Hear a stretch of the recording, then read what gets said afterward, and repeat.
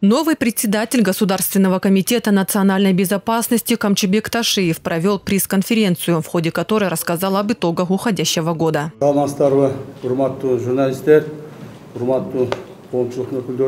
Одним из громких дел уходящего года стало дело экс-зампредседателя таможенной службы Раимбека Матраимова. На сегодняшний день он возместил нанесенный государству ущерб в полном объеме, оплатив 2 миллиарда сомов, проинформировал председатель ГКНБ. То, что там э, Матраимовым было нанесено ущерб государству, бюджету около 2 миллиардов сомов, было установлено э, следствием.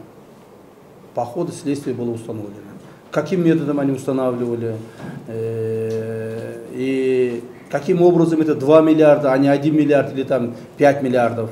Это все установлено следствие. Это раз. Э, следствие подробно здесь рассказывать я не смогу. 1 миллиард 400 миллионов сомов Матраимов возместил наличными, а 6 миллионов были возмещены путем передачи 9 квартир и одного торгового центра. Глава комитета отметил, что 8 квартир будут переданы сотрудникам ГКНБ. Ташеев отметил, что расследование по делу Матраимова продолжается. По Матраимову дело не закончено. По Матраимову дело теперь будет расследоваться его причастности к внешним связям контрабандным связям. То есть его, мы будем расследовать его имущество в других странах, в Дубае, в Америке, Европе и других азиатских странах. Если они будут, найдутся, если они найдутся, если мы как бы докажем, что он, у него не имеет какие-то отношения к этому имуществу, естественно, мы будем принимать э, меры. 15 декабря в Бишкеке прошла встреча делегаций Узбекистана и Кыргызстана по вопросам делимитации и демаркации кыргызско-узбекской границы. Говоря об итогах переговоров, Ташеев отметил, что переговоры на тему границ всегда проходят тяжело, и подобные встречи не сразу дают результаты. О чем мы договорились? Мы договорились об общих наших границах, о принципах нашей работы – и в основном разговаривали по части демаркации госграниц, что при проведении демаркации, при установлении э, границы, данную работу проводили посовместно. Не каждая страна отдельно, а посовместно. Даже о принятых местах нужно, о принятых решениях мы должны исполнять вместе.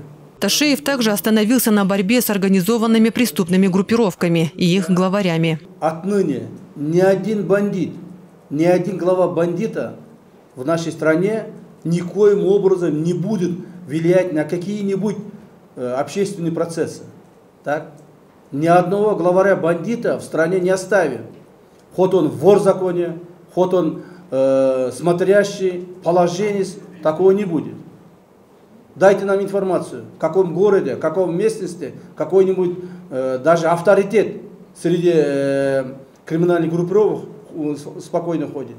Ташиев отметил, что задержание крим-авторитетов и коррупционеров общественность принимает положительно. На вопрос, почему задержание вора в законе Камчу Кульбаева и экс-зампредседателя таможенной службы Раимбека Матраимова в обществе приняли за постановочное шоу, глава комитета дал следующий ответ.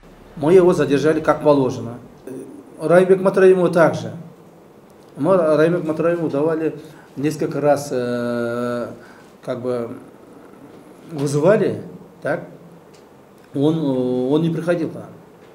Мы закрыли все границы, за ним мы наблюдали. Когда даже э, мы его задерживали, мы наблюдали, где он находился. На вопрос о деле Атамбаева глава Комитета безопасности заявил, что состояние здоровья бывшего президента ухудшается. Он добавил, что Атамбаев в настоящее время находится в СИЗО ГКНБ. Завтра Ташиев сам лично посетит бывшего президента, после чего будет рассмотрен вопрос о необходимости перевода его в больницу. Говоря о материальном положении судей, председатель ГКНБ заявил, что каждый судья будет проверен на наличие движимого и недвижимого имущества. При несоответствии с декларацией служители Фемиды будут привлечены к ответственности. Также в ходе конференции стало известно о возбуждении уголовного дела в отношении председателя Верховного суда Гульбары Калиевой. Насчет э, Гульбары Калиевой, председателя Верховного суда. Да, по отношению к ней, по отношению к ней возбуждено уголовное дело Дело расследуется.